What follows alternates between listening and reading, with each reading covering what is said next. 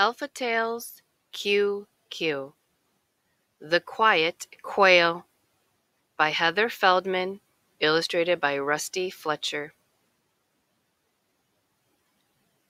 Quincy is a quiet quail.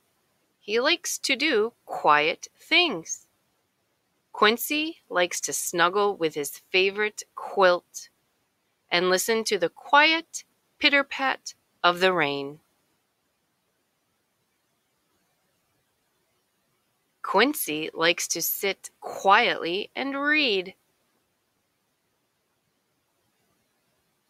Quincy likes to take quiet walks. Sometimes on his quiet walks, Quincy meets his friend Dotty Duck. Dotty is not very quiet. In fact, Dotty is quite loud.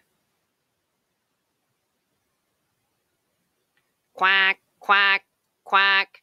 Hi, Quincy. Quack, quack, shouts Dotty.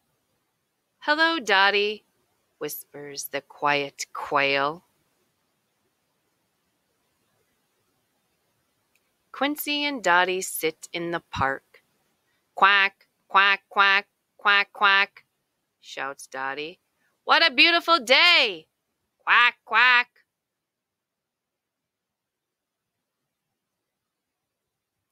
Dotty quacks and quacks till Quincy's head turns. Dotty, please quit quacking, says Quincy.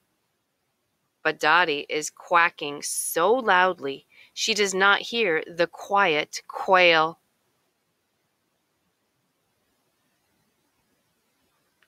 Quincy decides to go for a swim to drown out Dotty's quacking. He spreads his quilt on the grass and jumps in the pond.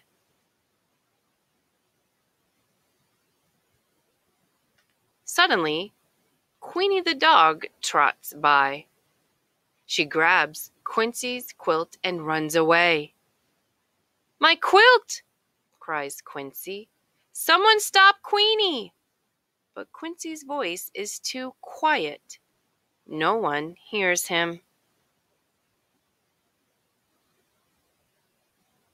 Queenie runs right past Dotty.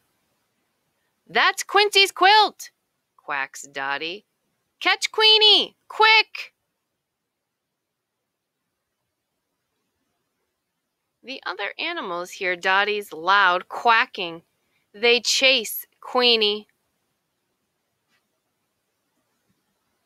Queenie is quick, but the other animals are quicker. They snatch Quincy's quilt from Queenie's teeth. They give the quilt back to Quincy. Quincy thanks all the animals for rescuing her quilt, especially Dotty. Your loud quacking saved the day, Quincy tells Dotty. And for once, the quiet quail is happy to have such a noisy friend. Now it's your turn. How many things can you find that begin with the letter Q?